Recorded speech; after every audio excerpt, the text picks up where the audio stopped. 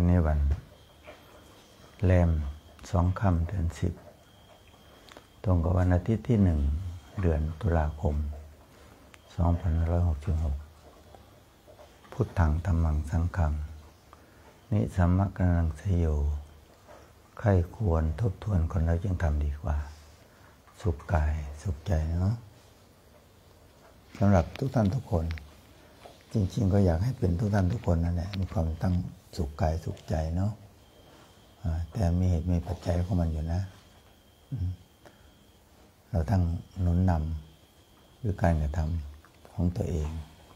วันนี้หลวงพ่อมาพบปะ มาพบปะ คือในโลกอันนี้ง่าย ๆ ก็คงแบบเขียนหัวให้เท่ากัน ให้สูงเท่ากันเหมือนกับเราไปตัด ไม้บางอย่าง ตัดให้มันเท่ากันเป๊ะอันได้อยู่ แต่ตัวบุคคลสูงต่ำทำเขาก็ดีสติปัญญาก็ดี อาจจะต่างกันอาจจะเหลื่อมล้ำกันอยู่บ้างในลักษณะเหลื่อมล้ำกันอยู่บ้าง มีช่องว่างช่องโบในลักษณะมีช่องว่างมีช่องโบก็มีสะดุดบ้าง ขับเคลื่อนไปได้บ้าง สะดวกบ้างไม่สะดวกบ้าง ก็เป็นอยู่ลักษณะอย่างนี้ ถ้าใครสะดวกมากกว่าก็ ก็ดีไป แสดงว่าสร้างกรรมมาดีเนาะสร้างกรรมดีมา อีกคนหนึ่งที่นี่หลายคนมันคนละขั้วกัน แสนละกรรมลำบากตกทุกข์ตกทุกข์เพราะว่าได้ยากด้วย ถ้าทุกข์มันก็ความไม่ไหนมันก็ตามมาเนาะถ้าพูดถึงตามหลักก็เดี๋ยวก็มันก็ตามมา มันก็ตามมาตรงไหนทีนี้มันก็ตามมาตรงที่ว่าแม้เราสร้างเหตุไปไง เราสร้างเหตุทุกข์มันก็ได้ผลแห่งความทุกข์สร้างเหตุแห่งความสุขความสบาย ก็ได้ผลแห่งความสุขความสบายอย่างนี้เป็นต้น เสียงทีนี้แล้วก็สติปัญญา ก็ไม่ทัดเทียมกันไม่เท่ากันถึงว่าไปเกียนหัวมันเท่ากันไม่ได้ ไปเกียนหัวเท่ากันไม่ได้ ผู้น้อยเขาบอกว่าเด็ก ตอนที่เป็นเด็กก็คิดได้ประมาณประมาณเด็กนะโตขึ้นมาหน่อยเลยเนี่ยโตขึ้นมาหน่อยจะอาศัยสติปัญญาตัวเอง ถ้าปลูกฝังมาไม่ดีทีนี้ถ้าปลูกฝังมาไม่ดี ก็จะมีปัญหาแล้วทีนี้ มีปัญหา เพราะว่า เหมือนเหมือนกับความมักง่ายความมักง่าย ความเอาแต่ใจตัวเองตั้งแต่ตั้งแต่เกิดมา ที่สุดของมันทีนี้ โตแล้วก็จะมาเอาแต่ใจตัวเอง อันนี้ไม่ถูกต้อง มันต้องขัดต้องเกา คนที่สั่งสมมามากทำอย่างนั้นมามากก็ก็ต้องแก้ไขให้มาก ๆขึ้น ไม่ใช่ไปแก้ไขนิดเดียว มันจะผ่านก็ไม่ใช่ ถ้ามันไม่แรงใจที่นี่มันเคยขัด มันเคยขัดอกขัดใจขัดนู่นขัดนี่ มันไม่ได้ มันไม่ได้ เพราะมันมีเหตุมีปัจจัยของมันอยู่หนึ่งความไม่พร้อม บางทีคนอยากเรียนไม่อยากไม่ได้เรียนเป็นต้น คนสนใจไปการเรียนแต่ไม่ได้เรียน เพราะขาดทุนทรัพย์ ทุนทรัพย์มีน้อย อีกประเภทหนึ่ง ทุนทรัพย์พร้อมหมดเลย พร้อม บริบูรณ์สมบูรณ์ แต่ใจมันไม่เอา ใจมันไม่เอาน้องพ่อถึงว่า คุณค่า คุณค่าของคน ที่หลวงพ่อไปเห็นไหมคุณค่าของคนอยู่ที่ผลของงาน มันก็ใช่นะนะ มีสักแต่ว่าพูดเฉยๆพูดเฉย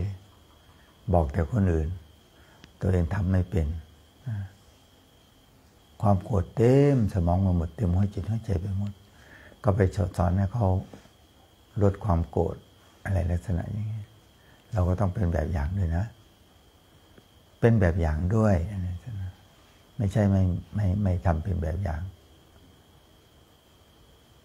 ความโกรธแล้วก็ความโลภเช่นกัน ความโลภเช่นกัน โลภโลภจนน่าเกลียด โลภจนกระทั่งว่า คนอื่นเห็นแล้วโอ้ยคนนี้ก็เป็นอย่างนี้แหละ เป็นอย่างนี้แหละ มันเป็นมาตั้งนานแล้ว แต่บางทีท่านนึกไม่ได้นะ ก็ฟัง ฟังคนอื่นบ้างในสนะปรับตัวเองให้เขาเข้าให้เข้ากับสังคม ไม่ใช่แบกไหวไปแล้วป้อยไป สังคมมันเป็นอย่างนี้ คนอื่นเป็นอย่างนี้ คนอื่นไม่เหมือนเราเนี่ยเราก็เช่นกัน คน คนอื่นไม่เหมือนเรา เราก็ไม่เหมือนคนอื่นเหมือนกันมันก็เป็นอยู่ลักษณะ ถ้าเราไม่ปรับไม่จูนนะถ้าเราไม่ปรับปรับเข้าหากันนะนะเขาบอกว่าเกียนหัวให้เท่ากัน ตัดแข้งตัดขาให้เท่ากันให้มันสั้นยาวเท่ากัน อันนี้ไม่เกี่ยว มันเกี่ยวที่ทิฏฐิมานะ ความเห็นอะไรลักษณะ ความเห็นลงร่องลงรอย ความคิดแตกได้ ความคิดแตกแตกได้ แต่การกระทำไม่แยกกัน ความคิดเห็นต่างได้นะเห็นต่างเห็นได้ แต่ไม่แตกแยกอะไรลักษณะที่มันเบามันแบ่ง ที่มันเบามันแบ่งมันนั้นบางทีมันก็บกพร่องจากตัวเราเองนั่นแหละบกพร่องจากตัวเราเองชัดเจนในนะบางทีเนาะแต่เราไม่เห็นไง ก็คอยฟังคนอื่นบ้าง คือคอยฟังคนอื่น ดูคนอื่นเผื่อก็เตือนเราเราก็เราเราก็ต้องเผื่อได้แง่คิดจากคำพูดของคนอื่น แต่ได้ได้แง่คิดจากการกระทำของคนอื่น แล้วก็มาปรับปรุงตัวเองจะไปปรับอยู่ที่ไหนก็ได้ แต่ต้องปรับอะเนาะต้องปรับ ถ้าไม่ปรับไอ้แล้วทีนี้ ไปเข้าไปหาเพื่อน เพื่อนก็ไม่อยากจะคบ ไม่มีเพื่อน ไม่มีเพื่อน หาความจริงจังไม่ได้ที่หาความจริงใจไม่ได้ เสร็จแล้วทีนี้น้องว่าถึงว่าเกือบทุกเรื่องเนาะเกือบทุกเรื่อง มันอยู่ที่ความคิดนะบางที ไม่ใช่บางที บางทีมากมากเลย เรายอมซะบ้าง ยอมซะบ้าง แต่มันชนะภายในเนาะชนะหัวจิตหัวใจตัวเองชนะความโลภความโกรธความหลงชนะที่ ชีวิตเราไม่เอาไหนเลย เอาธรรมะดูความชั่ว เอาน้ำสะอาดไปขับไล่เขาบอกไปขับไล่เอาน้ำสะอาดไปไล่น้ำเสียบ้าง เอาคุณงามความดีไปไล่ความชั่ว อย่างเงี้ยมันก็เป็นสัจธรรมที่แท้จริงในที่นี้ใช่ไหมถ้ารู้ว่ามันไม่รู้ตัวเองคนอื่นเตือน บางทีไปตีความว่า คนอื่นกวนอารมณ์มันกวน คนอื่นยั่วโมโหอะไรนะใช่ไหมบางทีหลวงพ่อว่า ถ้าจิตใจเรานิ่งพอเนี่ย อะไรก็ช่างมันก็จึงยั่วโมโหเราไม่ได้หรอกจริงๆคำว่าโมโหนี่ไม่ใช่ว่า โมหะไปว่าความหลงนะไปยุ่งยั่วความโกรธเราไม่ได้ ถ้าเรานิ่งพอถ้าเราเข้าใจธรรมะใช่ไหมมีขันติทำไปทำใหม่ไปจน เกิดความเคยชินขณะที่ความเคยชินความคุ้นเคยความคุ้นชินนั่นเอง เป็นสิ่งที่ดีแล้วก็รักษาเอาไว้เอาความดีมาขับไล่ของไม่ดี เรามาเติมเต็มในสิ่งที่มันพร่อง เอามาเติมเต็ม บางทีมันเติมเต็มไม่ได้เนาะบางทีเติมเต็มไม่ได้ ไม่เข้าใจ ขาดสติอัปปัญญา ถ้าโง่เขาปัญญาก็เติมไม่เป็นเนาะเติมไม่เป็น ถ้าเติมไม่เป็นก็ฟังคำชี้แนะของคนอื่น คนที่คิดคนที่ฉลาดเนื้อกว่าเรามีอยู่ อย่างนั้นตอนนี้ก็เป็นเขาเรียกว่า ต้นเดือน วันที่หนึ่งตุลาอันนี้วันสำคัญอะไรบ้างอุ้ยถ้าพูดถึงเรื่องสำคัญก็มีตั้งเยอะแยะ ในความทรงจำบรรพิยมหาราชบ้างเลยใช่ไหมยี่สิบสามตุลาบรรพิยมหาราช เจ้าฟ้ามากษัตริย์ในแต่ราชการที่เก้าท่านก็สวรรคตไปเมื่อวันที่สิบสามเดือนตุลานี่แหละสิบสามตุลา อย่างนี้เป็นต้น เราก็มาลำลึกนึกถึงนะ คิดถึงในส่วนที่มันดี เราก็เช่นกันเนาะ ถ้าเราทำดีแล้วเราคิดถึงระลึกถึงเมื่อไหร่เราก็ดีใจ ดีใจเรื่องที่เราได้ทำดี ดีใจที่ได้ช่วยคนอื่น ดีใจที่ได้แบ่งเบาภาระคนอื่นอะไรสักนะมันก็พ่อแม่เรา พ่อแม่เราอุ่นใจไหม ดีใจไหมอายุมากขึ้น อาศัยลูกเต้า อาศัยลูกหลาน บางทีก็ถึงเหลนนั่นแหละ อาศัย ดูแลผู้เฒ่าผู้แก่ ดูแลจนกระทั่งที่สุดของมันได้อะไรจากคนแก่ ได้อะไรจากพ่อแม่หรือบรรพบุรุษของเรา ได้อะไรได้ประโยชน์มาก ๆ เลยนะถ้าเราเปิดใจ ถ้าเราไม่เปิดใจเราก็ไม่รู้เนาะไม่รู้ปิดไปหมดเลย เมื่อคนที่ ปิดกั้นตัวเองด้วยสิ่งเสพติดทั้งหมดทั้งมวลนั่นแหละสิ่งเสพติดเมื่อคนข้างยาบ้าจะรู้ไหมล่ะจะรู้ไหมไม่รู้ ปิดหมดเลย ปิดหมด วันนี้เป็นวันอะไรพรุ่งนี้เนี่ย เป็นวันอะไร ตอนนี้โอ้เดือนที่สิบนะสิบตุลาไง อีกสามเดือนก็บอกสิ้นปีแล้ว เราจะทำอะไรจะผัดบันประกันพุ่งไหมนะผัดบันประกันพุ่งอุ้ยพรุ่งนี้ก็ทำดีกว่า ปีหน้าก็ทำดีกว่า แต่บางสิ่งบางอย่างก็ใช่อยู่นะเขาพร้อมยิ่งช่วงนี้เป็นช่วงช่วงนะกเกษียณอายุราชการ เยอะเลยทีนี้นะอย่างนี้เลี้ยงส่งเลี้ยงกเกษียณเลี้ยงนนเลี้ยงนี่เลี้ยงกัน ถ้าเลี้ยงแต่ปากแต่ท้องเนี่ยหลวงพ่อก็ยังไม่คุณค่ายังไม่มากเท่าไหร่นะถ้าเลี้ยงผู้คนคนนี้เลี้ยงโอ้โหเลี้ยงเนี่ยเลี้ยงเลี้ยงส่งกเกษียณอายุราชการแต่เลี้ยงส่งเฉพาะอาหารกับข้าวอะไรบอกว่าโต๊ะจีนไม่เฉยๆเนี่ยได้กินได้กินมาก ได้อิ่มมาก ได้ดื่มดี ได้กินดี ได้ดื่มดีเฉยๆแค่มันก็อยู่ช่วงความทรงจำเราไหมมันอยู่อยู่ มันอยู่มันมี แต่ข้อสำคัญที่เหนือกว่านั้นคือคำหนึ่งถึง คุณงามความดีคำหนึ่งถึง ได้หลายเรื่อง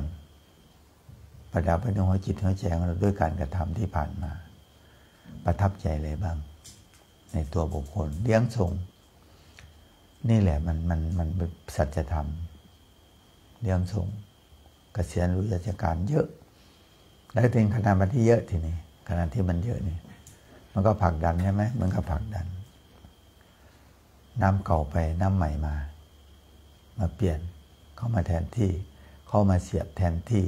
ที่บอกว่าโดยภาษาธรรมะเลยว่า เขาสวมหัวโขนให้เขามอบหน้าที่ให้เรา มอบหน้าที่ เราทำหน้าที่ มีคนคิดถึงกันเยอะใช่ไหมล่ะ มีคนคิดถึงคิดถึงคุณงามความดี ประทับใจ ประทับใจอยู่ตรงนั้นทำงานร่วมกัน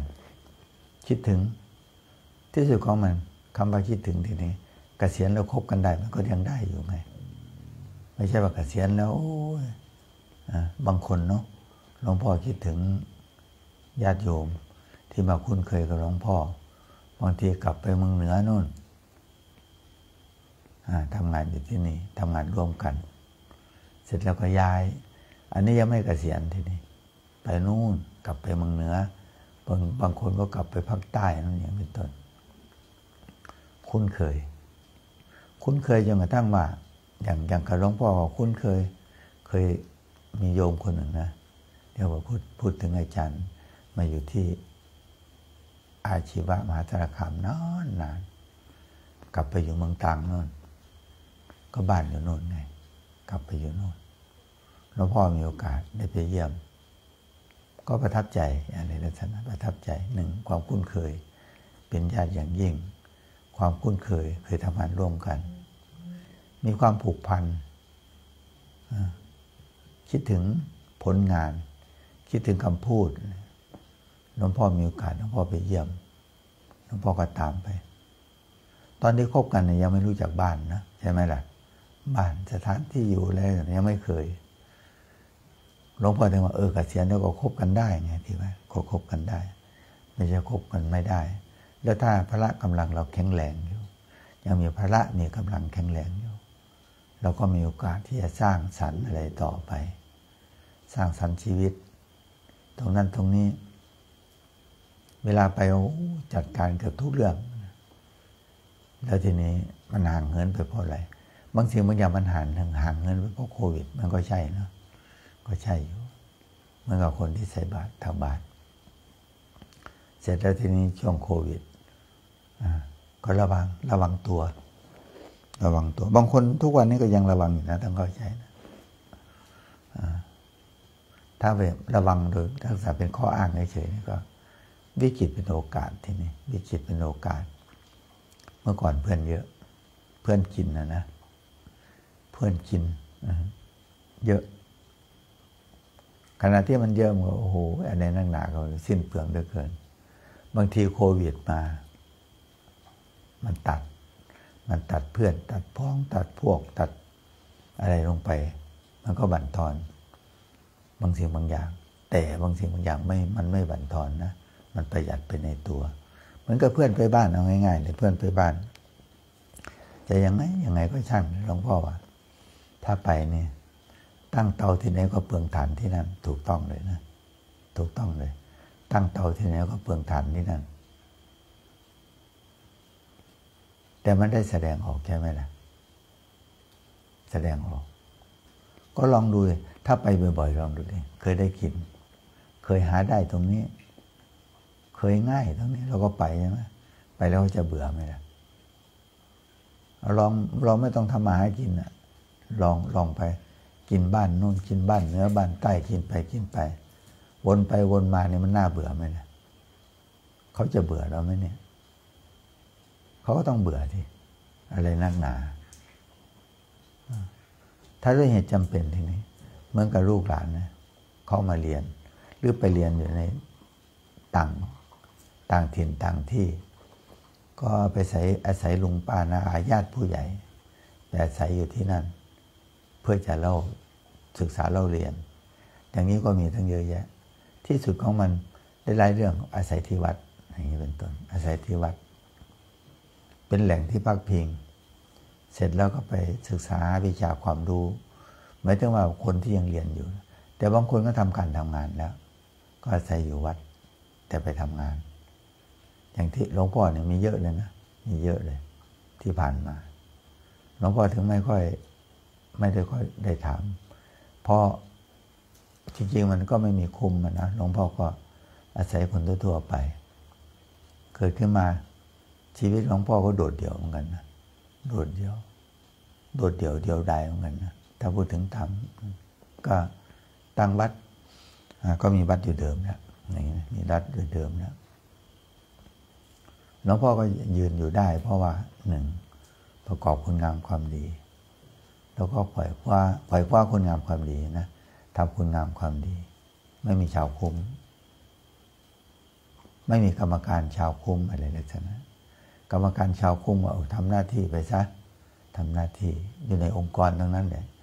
แต่องค์กรของหลวงพ่อหลวงพ่อรับผิดชอบเองอันนี้ลักษณะรับผิดชอบเขาเขาเคยพูดนะน่าคิดเขาบอกว่า ตั้งแต่พออยันพันโลงทั้งหมดเลยอย่างเป็นต้น แต่เขาก็อยู่ได้ เขาอยู่ได้ใช่ไหมโอ้ยเป็นเท่าพออยันผ่านลงครูน้อยครูใหญ่อยู่คนเดียวครบหมดเลยครบหมดเลย ก็ขับเคลื่อนองค์กรไปได้ ถ้ามีสติถ้ามีปัญญา แล้วต้องมีนั่นด้วยนะต้องมีบุญด้วย ต้องมีบุญด้วยนุนนำถ้ามีแต่ความชั่วแล้วใครจะมาสนับสนุนนะถ้ามีแต่ความชั่วทำแต่ความชั่ว ไม่บากบั่นไม่มีความมุมานะ ขาดธรรมะ ขาดศีลไรธรรมมันจะมีใครดูแลเราไหมล่ะ อย่างนี้ ตัวเองดูแลตัวเองไม่เป็นเลย ตัวเองยังไม่เห็นตัวเองเลย ตัวเองยังยืนด้วยลำแข้งของตัวเองไม่เป็นเลยไม่ได้ยิงถึงก็หมดแรง หมดแรง แต่หลวงพ่อได้พระด้วยกำลังไม่ได้ว่า ก็สูงสูงต่ำดำขาวว่าไงที่หลวงพ่อบอกก็ธรรมดาเรายกนิ้วขึ้นแล้วก็เป็นเห็นเป็นธรรมใช่ไหมนิ้วยังสูงต่ำไม่เท่ากันเลย นิ้วนิ้วกลางเนี่ยจะสูงกว่า นิ้วอื่นใช่ไหมจริง ๆ ก็ถ้าพูดถึงตามสัจธรรมจริงๆมันก็มีสูงมีต่ำหรอก ไม่มีสูงไม่มีต่ำแต่มันเหลื่อมล้ำกันอยู่ คนทำดีก็ก็ย่อมจะดีกว่าคนที่ทำความชั่ว คนที่ทำดีนะ คนที่คิดดี มันก็ย่อมจะดี ดีกว่าคนคิดชั่วทำชั่ว อย่างเป็นต้นหลวงพ่อถึงว่าโอ้ภาระมันก็เยอะเหมือนกันนะอย่างวันนี้ก็มี วันนี้ก็มีมีแน่ๆหลวงพ่อมีนัดอยู่วัดบ้าง แล้วก็มีอตอนเช้า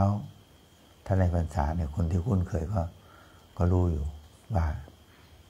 งานประจำงานประจำประจำเนะมันมีอยู่ งานจรจะมาตอนไหนเท่านั้น จัดคิวตัวเองไม่เป็นไหม ถ้าจัดคิวตัวเองไม่เป็นก็ยุ่งเลย ยุ่งเลย ไม่ลงตัวขอให้มันลงตัว ลงตัวตรงไหน ก็จัดสรรตัวเองนั่นแหละ จัดการตัวเองนั่นแหละจะเป็นมัวจัดการคน คนอื่นอยู่เลย บริหารจัดการ จัดการหัวจิตหัวใจของเราเนี่ย ถ้ามันชั่ว มันคิดชั่วแล้วก็เอาคุณงามความดีมากำจัดมาขับไล่มันอย่าไปที่พักพิงกับมันเลยทั้งหัวจิตหัวใจหรือบ้านเราเนี่ย ให้คนชั่วมาอาศัย ให้คนเลวมาอาศัยมาสร้างความเดือดร้อน เคยได้ยินไหม อาศัยอยู่หลายคนก็พูดข้าวน้ำก็แบ่งให้อยู่ให้กินให้ใช้ให้ซอย อุปถัมภ์มาตลอด เอาเข้าจริงๆ เอาไปทำลายใช่แล้วมาทำลายใช่แล้ว ถ้ามันเป็นลักษณะกันวิปริตผิดมนุษย์แล้วใช่ไหมล่ะหนึ่งมันมาจากยาบ้าสิ่งเสพติดทั้งหมดทั้งมวลแต่ส่วนมากปกติก็รู้บุญคุณอยู่หรอก ไม่รู้มากก็รู้น้อย ชดใช้หรือทดแทนไหมอะไรลักษณะอันนี้ก็เช่นกัน ถ้าเราไม่เอาคุณงามความดีมาขับไล่ความชั่วจากหัวจิตหัวใจ ถ้าไม่เอาดีมาไล่ผีแล้วยุ่งเลยนะยุ่งเลยเราก็ต้องผีไม่ตัวเป็นตัวเป็นตนเนี่ยมาเถอะมาทั่วประเทศเนี่ยมันก็ไม่เปลือง ไม่เปลือง ไม่ต้องหาที่นั่ง ไม่ต้องหาเก้าอี้ ก็ผีไม่มีตัวมีตนไง ถ้าคนทีนี้ คนเรา มันเป็นเป็นได้ทั้งเปรตทั้งผีเนาะอ่าเปรตเป็นทั้ง เป็นทั้งคนดีไม่คนเป็นคนดี คนดีด้วย ไม่ดีด้วยอะไรอยู่อย่างด้วยลักษณะอย่างนั้น แล้วทีนี้ ทุกวันนี้เขาอ่านเกมยังไง งานนี้เกิดขึ้นเขารู้แล้วเขาไปแล้ว ไปเก็บอะไรบ้างมิจฉาชีพก็ไปมิจฉาชีพก็ไป เดือดร้อนทุกวันเดือดร้อน บางทีขโมยพระบ้างขโมยของของพระเจ้าพระสงฆ์บ้างตู้บริจาคก็เดือดร้อนทุกวัน เขาถามว่าหัวจิตหัวใจทำเลยแล้วก็นี่แหละมันต่างมันต่างกันตรงนี้แหละของหัวจิตหัวใจบางคน คิดไปทำชั่ว มีสติมีปัญญา ไปทำความชั่ว อีกพวกหนึ่งที่นี้เขามีสติมีปัญญาไปทำคุณงามความดี ที่ไหนก็สร้างสรรค์ ไปที่ไหนก็ไม่เดือดร้อน ไม่สร้างความเดือดร้อน ให้แก่เจ้าของบ้าน เจ้าของถิ่น หรือชุมชนอะไรๆนะ เกิดขึ้นมาบางคนก็โอ้เป็นเศษเป็นเดนเป็นพระกับสังคม จะทำไงมากๆกันว่าเราไม่จะเป็นจะไม่เป็นเศษเป็นเดนของสังคม แล้วก็จะไม่ เขาเขาบอกว่าจะไม่เป็นภาระกับสังคม ไม่เป็นภาระกับคนอื่น ภาระของคนเกิดขึ้นมามันมีอยู่แล้วไงหนึ่งภาระต้องเลี้ยงดูพ่อแม่นะถ้าอยู่มากขึ้น พ่อแม่ก็เช่นกันทีนี้ก็มีภาระต้องเลี้ยงลูกเลี้ยงหลาน คนในองค์กร คนในองค์กร เขาบอกเป็นเดือนแห่งการที่สิ้นสุด สิ้นสุดที่เราจะไปทำงาน บางคนยังยอมด้วยมากด้วยความสามารถนะบางทีก็จ้างต่อเหมือนกันนะจ้างต่อเหมือนกันเหมือนกับหลวงพ่อไปสอนศีลธรรมหลวงพ่อเกษียณก็พออเนี่ยคณะครูอยากให้ไปสอนต่อ ให้ไปสอนต่ออะไรแบบนั้นบางทีก็มีเหมือนกันนะอย่างทำงานแล้วมันมีความผูกพันกันที่ทำงาน ต่ออายุ ต่อน่นต่อนี่ยกขึ้นไปที่ปรึกษานี่ยกขึ้นไปที่ปรึกษา แต่ถ้าหลวงพ่อลาบางหลายๆเรื่องหลวงพ่อก็ลาขาดเลยนะขาดเลย แต่ยังอุปถัมอยู่นะอย่างยกตัวอย่างนะเคยสอนอยู่ตรงนั้นก็มีความผูกพันอ่าบางทีของของที่เหลือเรียกว่าเหลือก็ก็ก็จะเกินไปนะ จริง ๆ มัน โยมทำบุญด้วยอามิตรด้วยข้าวของมันก็พอมีอยู่หลวงพ่อก็เจียดในสิในส่วนนั้นเนี่ยก็ไปแบ่งลูกหลานอยู่เหมือนเดิม นั่นคืออาหารทางกายใช่ไหมขนมนมเนยอาหารทางกาย แต่อาหารทางจิตของเราเราให้ความสำคัญไหมถ้าไม่ให้ความสำคัญอาหารทางใจนี่นะเอาคนแรกน้ำใจคนมีน้ำใจ คนแรกน้ำใจ คนมีมากแจกแบ่งก็ไม่เป็นนะ ถ้าไม่ฝึก ถ้าจิตใจไม่เป็น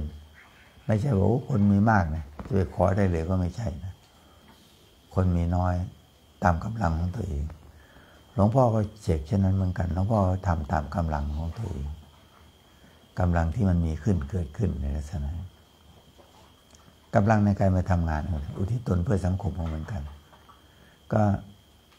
เต็มที่สุดๆของเราเลย พละกำลังมันถดถอย แต่มันได้กำลังใจ ใจนี้ ใจสู้ ใจเข้มแข็ง ต้องสู้ต่อไป สู้ต่อไป แต่เราต้องคำนึงอยู่เสมอนะ เอ็นดูเขาเอ็นเราขาด เอ็นดูเขาเอ็นเราขาด ทุกวันนี้ก็เหมือนกันก็วันนี้ แล้วที่มันผ่านมาก็เช่นกัน จริง ๆ เรารู้จักบุญคุณใช่ไหมถ้าย้อนสะท้อนกลับไปย้อนกลับไปนี่หลวงพ่อมีครูมีอาจารย์ แต่แต่ก็เหมือนกับราบลื่นนะถ้าพูดถึงธรรมหนึ่งมีครูที่เราควรเคารพบูชา มีพ่อแม่ มีพ่อแม่ ผู้ให้กำเนิด ก็ก็ชี้แนะมาในทางที่ดี เสร็จแล้วก็มาเจอครูที่สอนเราที่โรงเรียน รูลำดับที่สองครูคนแรกคือพ่อคือแม่ ครูคนที่สองชุดที่สองชุดอีก อันนี้ก็ด้วยความผูกพัน ถ้ามาคิดโดยโดยสัจธรรมอยู่ที่นี้ ไปกันหมดแล้ว ไปกันหมดแล้ว ไปกันหมดกับทุกคนเลย แล้วทีนี้ครูทีนี้ครูทางธรรมทีนี้ครูทางธรรมที่สูงสุดอะก็พระพุทธเจ้าใช่ไหมพระธรรมคำสั่งสอนพระสงฆ์ อย่างนี้เราก็เราก็มาตามลำดับนะ มาตามลำดับหลวงพ่อคิดไปเป็นโจรไม่รีไปเป็นโจรไม่ไม่อย่างนี้เป็นต้นแล้วทีนี้อย่างนี้มันเดือดร้อนไหมมันไม่เดือดร้อน ไม่เดือดร้อนคนอื่น ไม่เดือดร้อนสังคม ที่สุดของมันไม่ก็เดือดร้อน ไม่เดือดร้อนตัวเองไงอย่างเงี้ยบุญคุณต้องทดแทน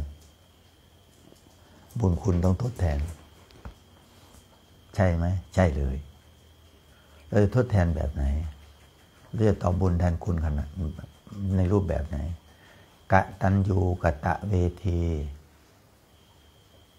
อะกะตันยูคนละเรื่องเลยใช่ไหมล่ะ ไม่รู้จักบุญคุณ ไม่รู้จักบุญคุณอักตันยูนี่นะหนักๆเข้าเป็นลูก ลูกทรพีล้านทรพี ทำอะไรไปบ้าง สร้างกรรมหนักทำกรรมหนัก ถึงนู่นเลยอนันตริยกรรมเลยอย่างเป็นต้น มันปลูกฝังมาจากไหน มันปลูกฝังมาจากไหน มันฝังมา มันปลูกมา เราปลูกเราดูแล เราปลูกต้นไม้เราต้องดูแลเนาะอย่างนี้เป็นต้น ถ้าไม่ดูแลไม่ใจใส่ก็ลองดูสิ มันจะเจริญเติบโตไหมมันจะเจริญเติบโตไหม แล้วที่นี่มันจะเจริญในทางที่มันมันมันไม่เจริญ มันเจริญดีอะมันดีแล้วถ้ามันเป็นอย่างอื่นไปนะยุ่งท่านเป็นอย่างอื่นไปลำบากเราจะไปโทษใครทีนี้จะไปโทษใคร ถ้าพูดถึงแต่ว่าต้องโยนลงกรรมแล้วนะ ทำไมลูกเราต้องมาพัดพากจากเราทำไมพ่อแม่ครูอาจารย์ทำไมพัดพัดพากจากเรา แล้วมันพัดพากจากพ่อเราใช่ไหมล่ะก็ไม่ใช่ ไม่ใช่เลยอะไม่ใช่เลย คนอื่นก็เช่นกันที่นี่คนอื่นก็เหมือนกัน คนอื่นก็เช่นกันทำทำอยู่นั่นแหละทำอย่าไปท้ออย่าไปท้อใจนะหลวงพ่อว่า อย่าไปท้อแท้นะทำไปเถอะ ทำผลงามความดีนะแต่ยังไงยังก็ไปทำอย่าไปทำความชั่วเลย อย่าไปสั่งสมความชั่วนะ ความเหลวร้ายทั้งหลาย ที่เป็นพิษเป็นภัยกับตัวเอง อย่างข้าราชการบางที อย่างที่หลวงพ่อว่าเกษียณแล้วเนี่ยบางบางบางคนก็สุขสบายนะ สบาย เตรียมการไว้ก่อนวางแผนไว้ก่อนก่อนเกษียณอะไรลักษณะอย่างนี้ บันก่อนหลวงพ่อยังไปเจอข้าราชการเกษียณมาบวชมาบวชมาบวชวันวันวันพระที่ผ่านมาหลวงพ่อไปรู้จัก จริงๆอะสถานที่ตอนนั้นเรารู้จัก แต่ไม่ได้ไปนานแล้ว เปลี่ยนคนอื่นแล้วเนี่ยเปลี่ยนเจ้าวาดแล้วอะไรลักษณะเปลี่ยนเจ้าวาด เจ้าวาดรูปก่อนไปไหนแล้ว บางทีก็มรณาภาพคือตายนั่นเองละสังขารนั่นเอง อย่างเงี้ยคนอื่นก็มาแทน ก็เหมือนข้าราชการที่เกษียณไปเหมือนกันก็ลูกหลานรุ่นน้องรุ่นอะไรขึ้นมาเสียบขึ้นมาแทนที่อะไรสักมานั่งเก้าอี้แทน ถ้าจะอยู่ในองค์กร แล้วมีพักมีพวก เราต้องมีคุณธรรม เราต้องมีสัจจะนะ เราต้องมีสัจจะเราต้องมีศีลมีธรรมตรงไปตรงมา บุญคุณต้องทดแทน กะตันยูกะตะเบทีอะกะตันยูอย่างที่หลวงพ่อว่าอะไปว่าไม่โอ้ยไม่เข้าท่าเลยคนนี้ทำไมไม่จักรู้จักบุญคุณ ไม่รู้จักบุญคุณของข้าวของน้ำไม่รู้จักบุญคุณของคนที่ให้มา เหมือนกับปัจจัยสี่พระเจ้าพระสงฆ์ ถ้าไม่คำนึงถึงเรื่องนี้ ก็ไม่ต้องไปท่องหรอกปฏิสังขายโยนั่นเองไม่ต้องไปท่องหรอก ถ้าจิตใจมันไม่ได้เนาะมันต้องอยู่ที่จิตใจด้วยมีพลังด้วยในสนะมีพลัง ขอให้ขอให้มีพลังนะขอให้มีพลัง แล้วก็ทีนี้พลังทางด้านจิตใจ เติมขึ้นให้มากมากพลังทีนี้ พลังทางกาย มันถดถอยก็ช่างมัน แต่พลังทางใจเราสั่งสมอะไรไว้บ้าง สั่งสมคุณงามความดีไง สั่งสมคุณงามความดี ประกอบคุณงามความดีสะสมไม่ใช่ว่าทำวันนี้ก็อยากได้ผลวันนี้ก็ไม่ใช่นะต้องทำไปเรื่อยๆนั่นแหละทำไปเรื่อยๆทำจนเขาบอกว่า เหมือนกับเราไปเที่ยวไปทำงาน ทำงานก็ย่อมมันชำนาญการขึ้นมาเรื่อย พัฒนาขึ้นมาเรื่อยวิธีคิดก็เช่นกัน พัฒนาหัวจิตหัวใจของเราพัฒนาองค์ประกอบมันในหลายอย่าง ถ้ามันลงตัวแล้วถึง เออ ดีแล้วล่ะดีแล้ว มันยืนอยู่ได้ไงยืนอยู่ได้ แต่บางสิ่งบางอย่างที่ที่มันมันบั่นทอนสติปัญญามันบั่นทอนในปัจจุบันคำว่า ค่าใช้จ่ายเราไปชักหน้าไม่ถึงหลัง ชักไปบนก็เขินข้างล่าง ชักซ้ายชักขวาไม่ได้ทั้งนั้นเนี่ยกระดิกกระเดียไม่ได้เลย อย่างเงี้ย มันก็บั่นทอนทั้งด้านจิตใจของเรา ไม่รู้เอาที่ไหนมาจ่าย มันไม่พอใช้จ่ายสรุปแล้ว มันก็เอื้อต่อกันนะโลกกับธรรมอาศัยกัน โลกกับธรรมนี่นะก็อาศัยกันใช่ไหมถ้าเราไม่มีหัวจิตหัวใจ ถ้าเรามีสังขารร่างกาย เราจะอะไรมาคิดอะเอามาคิด จริง ๆธรรมะก็อยู่นี่แหละเอามาคิดกับทุกเรื่อง มันก็เป็นธรรมะ เตือนตัวเองได้บอกตัวเองได้กล่าวตัวเองได้ จะเป็นรอแต่คนอื่นเตือน มีแต่แบขอแบมือขอคนอื่นก็ไม่ใช่ เขาบอกต้องตื่นจิตด้วยลำแข้งของตัวเอง คนอื่นแค่แค่เสริมเท่านั้นเองคนอื่นแค่แค่เสริม บางทีหลวงพ่อก็รอรอนะบางเรื่องนะรออยู่บางเรื่องก็ไม่ต้องรอ อย่างนี้ ถ้านัดหมายมันก็ต้องรอใช่ไหมล่ะแต่บางเรื่องนะที่จะทำเนี่ย ไม่ต้องรออะไรแล้ว แล้วทำอื่นอย่างอื่นรอเราอยู่ว่างนั่นแหละบางคนไม่เข้าใจ อยู่ว่างแล้วรอ รออย่างนั้นแหละ รอโดยที่ไม่ทำอะไรนะรออย่างนั้นแต่ถ้าหลวงพ่อหาอย่างอื่นทำแล้วเนี่ยทำรอไม่เป็นไรอย่างนี้เป็นต้น ถ้ามันเหนื่อยนักก็พักนอนรอบ้างอะไรนะพักผ่อนซะบ้างสำคัญร่างกาย แต่หัวจิตหัวใจเรา เราเข้มแข็ง ตื่นขึ้นมาก็สู้ต่อเนี่ยนะสู้ต่อทำต่อ เราก่อไว้แล้วเราต้องสารต่ออเขาก่อไว้แล้วนี่ ก่อร่างสร้างไว้แล้วนี่ เราต้องต่อแล้ว เราต้องเราต้องเติมนั่นแหละเนี่ยเราต้องเติม จริง ๆ เกือบทุกเรื่องก็เช่นกันทีนี้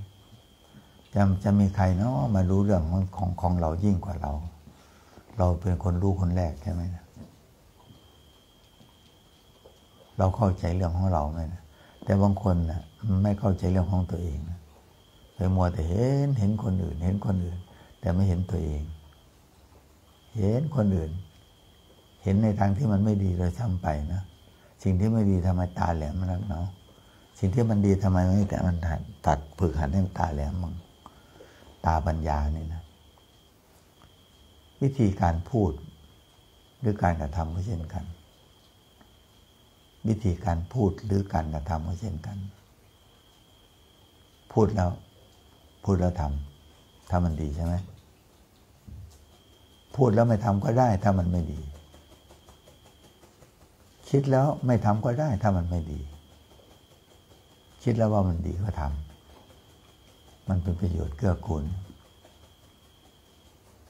แต่ถ้าคิดดีก็ไม่ทำไม่ลงมือทำคิดชั่วก็ไม่ลงมือทำมันจะยืนอยู่ตรงไหนทีนี้จะยืนอยู่ตรงไหนคิดชั่วก็ไม่ได้ทำมันก็ดีแล้วไง ไม่ได้ทำชั่ว คิดดีทำเลยทีนี้ คิดดีแล้วทำเลย มันก็ดีแล้วมันได้ทำเลยอ่าจะไปเสริมมันดิคิดไม่ดี ไม่ได้ทำนั่นดีแล้ว คิดดีได้ทำนะมันก็ดีแล้ว แต่คิดดีเฉยคิดชั่วเฉยแต่ไม่ได้ทำทั้งอย่างยุ่งเลยดีก็ไม่ทำชั่วไม่ทำถ้าโดยสันหลักธรรมทีนี้ ไม่ดีแล้วไม่ชั่ว มันก็เนื้อเหนือเหนืออย่างอื่นนะถ้าคิดอย่างยกตัวอย่าง บาปบุญคุณโทษ เราอยู่เนื้อบาปบุญคุณโทษ เราอยู่เนื้อ กลางวันกลางคืน เราอยู่เนื้อทุกอย่างเลยทีนี้ สุขกับทุกข์สุขมาแล้วก็อยู่เนื้อสุข ทุกข์มาแล้วก็อยู่เนื้อทุกข์ไม่ใช่โลกทับเรา ไม่ใช่พื้นแผ่นดินนี่มันทับเรา เราก็ต้องหลีก เราต้องหลบ เราต้องหลบ หลบภัย ภัยมีรอบด้านทีนี้ ภัยที่แท้จริงที่เราหลบไม่ได้ทีนี้ ที่หลบไม่ได้เลยจริงคือแก่เจ็บแล้วก็ตายไงเสียอกเสียใจ หลบไม่ได้ เราจะเตรียมการยังไงเท่านั้นเองเตรียมการเป็นไหมล่ะ มีสติมีปัญญาไหมก็เหมือนกับที่ว่า ที่หลวงพ่อว่าโดนถามกับทุกวัน เมื่อวานก็ถาม เมื่อวานถามถามถามเรื่องน้อง น้องเออน้องหลวงพ่ออ่าคนนี้คนนี้ที่ตายไปเผาไปเมื่อ วันอาทิตย์ที่ยี่สิบเจ็ดเดือนเดือนก่อนนั่นอาทิตย์ที่ยี่สิบเจ็ดเดือนก่อน เพิ่แป๊บเดียว จะเป็นเดือนนะเป็นเดือนเศษอะไรอย่างเป็นต้น ถ้าพูดถึงตามนั้นก็เดือนกับสามวันสี่วันอะไรอย่างเงี้ยมีคนถามไทยก็เป็นธรรมดาหลวงพ่อเก็บมาเล่าให้ฟังว่า โดยสัจธรรมใช่ไหม เราก็คอยตอบปัญหาเดิมๆ แต่มันคนละคน มันคนละคนถามใช่ไหมล่ะ แต่บางทีมันบางคนคนเดิมเนี่ยถามอยู่ ถามเรื่องเดิมอยู่สิบครั้งร้อยครั้งพันครั้ง อันนี้ก็คงไม่ใช่แล้วแหละใช่ไหม อันนี้คือหลวงพ่อปาลบแล้วก็น้อมมาเพื่อความเป็นธรรมนะ คนอื่นถามก็ถามไปเรื่อย เขายังไม่เคยถามเรื่องนี้ไงใช่ไหมนะถ้าอีกคนหนึ่งโอ้โหมันถามดังร้อยครั้งแล้ว ถามเรื่องเนี้ยร้อยครั้งแล้วถ้าคนเดิม อันนี้ไม่ใช่คนเดิมหลวงพ่อถึงบอกมันไม่ใช่รู้พร้อมกันเลยก็ไม่ใช่ ไปรู้ที่ถามก็แสดงความเสียใจตามหลังนั่นเอง รู้ทีหลังเป็นต้นเราก็ต้องคำนึงถึงนะถ้าคนที่ถามเรื่องเดิมๆถามอยู่ร้อยครั้งพันครั้งถามอยู่เรื่องเดิมๆนะหลวงพ่อผิดปกติไม่อย่างนั้นนะมันก็น่าจะผิดปกติ ใช่ไหม ก็ถามแล้วก็ถามอีกจนกระทั่งมาหลวงพ่อก็ถามไปแล้วนี่ ก็ตอบไปตั้งหลายรอบแล้วอย่างนี้เป็นต้น อีกคนที่นี่คนมันหลายคนในโลกอันนี้ใช่ไหมล่ะบางทียังถ้าพูดถึงตามหลักไม่ถามเฉยๆนะ ยังทำบุญตามหลังก็มี เอาจริง ๆ นะโดยน้ำจิตน้ำใจนี่นะน้องพ่อว่า ตั้งแต่ตั้งแต่นี้มาน้องพ่อไป จัดงานศพ มีหลวงพ่อเทพ ที่ยืนภาพยืนอยู่ตรงนั้นนะภาพยืนอยู่เพิ่แป๊บเดียวก็ผ่านไปเพิ่แป๊บเดียวก็ผ่านไปหมายถึงวันสิ้นใจแล้ววันชาปนกิจนั่นนะแล้วก็เพิ่แป๊บเดียวเท่านั้นเด็อ่ามาแล้วสามเดือนสองเดือนสามเดือนไปแล้ว ไล่กันไปติดๆถ้าไปเจอคนที่คุ้นเคยที่นี่ นานๆไปเจอเนี่ยก็ยังถามไถ่อยู่ในลักษณะ ถามไถ่มีพระเจ้าพระสงฆ์ที่คุ้นเคยกับท่าน ก็ถามไถ่ก็เป็นเรื่องปกตินี่ถ้าผ่านไปปีเนี่ยโอ้ยตายไปตั้งปีแล้วอันนี้ยังเป็นต้นใช่ไหมหลวงพ่อว่านี่คือสัจธรรมที่แท้จริงว่า ดีแล้วแหละมีคนถาม ดีแล้วแหละมีคนสนใจ ดีแล้วแหละมีคนใส่ใจ อะไรลักษณะ ในโลกนี้ก็เป็นอย่างนี้เนาะ ก็แสดงออกอย่างนี้แหละ ถูกต้องแล้ว ถูกต้องแล้ว อย่างนี้ ถ้าพูดถึงว่าอยู่ด้วยกัน อยู่ด้วยกัน ที่สุดของมันคำว่าไม่เผาผีกันเคยเจอไหมล่ะรักกันเหมือนกับเลขสิบเอ็ดเลย มันก็โอ้โหเป็นแพ็กคู่เลย ที่สุดของมัน บางคนไม่ได้มานะ อยู่เมืองนอก อย่างนี้เป็นต้น บางคนช่วงช่วงที่โควิด ก็ไม่ได้เผาแม้กระทั่งพ่อแม่ตัวเอง แม่คนที่เราดักที่สุดของเราก็เหมือนกัน ก็ทำหน้าที่ มันทำให้ห่างเหินเหมือนกันนะ บางเรื่องนะแต่หัวจิตหัวใจเราห่างเหินไหมเราหัวจิตหัวใจความคิดต้องทำความเข้าใจ ก็ต้องโดนถามอยู่ล่ำไปนั่นแหละคนที่ป่วยป่วยอยู่ อาพาธอยู่ที่เป็นพระเจ้าพระสงฆ์คนป่วยก็ถามไถ่กัน ก็เป็นอยู่ลักษณะถามถามไปเรื่อย ตอบไปเรื่อย อยู่ลักษณะเป็นสัจธรรมนะหลวงพ่อมาพูดเป็นสัจธรรมนะ ไม่ใช่โอ้หลวงพ่อพูดเรื่องน้องเรื่องพระเรื่องเขาก็จะพูดเรื่องอะไรนะก็พูดเรื่องอย่างนี้เนี่ยหลวงพ่อยังขอบใจโดยซ้ำไป ในหลายเรื่องที่มาถามนะบางทีตั้งใจเข้ามาถามเลยนะอย่างไปเจอกันในงานสังคมอย่างไปงานเทศ คนนั้นก็มาคนนี้ก็มามาถามไถ่อะไรท่านอย่างนี้เป็นต้น เอาวันนี้หลวงพ่อคงลาไปก่อนนะ ขอให้มีความสุขกันทุกทนหน้านะ คิดดีทำดีนั้นดีแล้ว คิดชั่วอย่าไปทำตามเลยอ่าอย่าไปทำตามนะ คิดชั่วอย่าไปทำชั่วนะ คิดทั้งดีทั้งชั่ว แต่เลือกทำดีดีกว่าน้องพ่อลาไปก่อนคราวหน้าพบกันใหม่ สาธุ สาธุ สาธุ